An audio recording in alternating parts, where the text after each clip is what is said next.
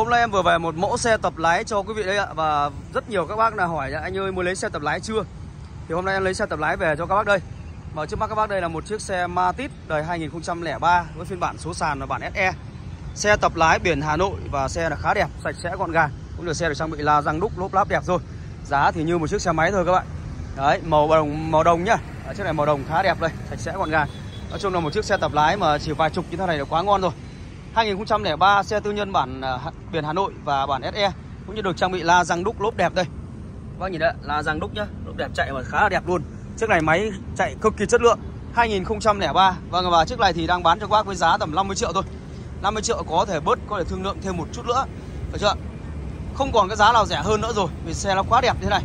Máy số chất cầm mẹ ngon lành, điều hòa mát đăng kiểm dài. Đấy đăng kiểm dài luôn ạ.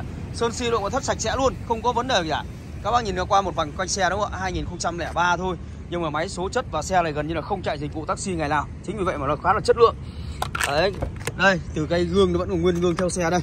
Keo chỉ còn rất là nhiều, Máy số chất đây ạ, Gầm bệ ngon anh. Các bác có thể xem đây là một chiếc xe Matic đời 2003 thôi. Thì nó khá là đẹp. Xe này gần như không chạy dịch vụ taxi. Có màn hình căng ngồi trên hành trình trên này. Đó nhá, vô lăng đẹp luôn.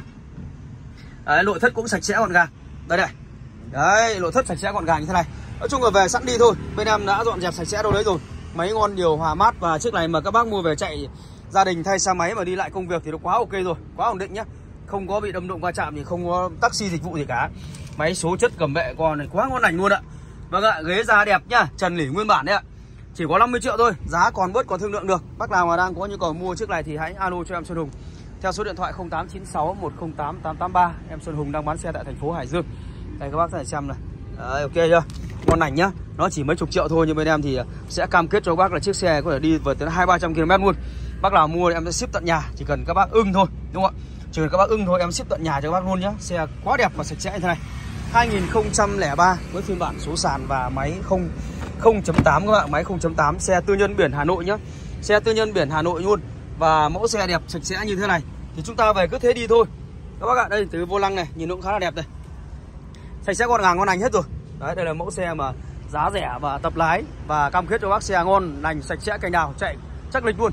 Có thể chạy hai ba trăm km thoải mái luôn các bác nhé. Đấy, em đang bán chiếc xe Matiz đời 2003 với giá là 50 triệu đồng.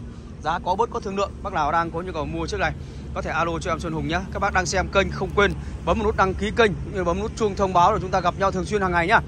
Xuân Hùng xin chào và hẹn gặp lại các bác.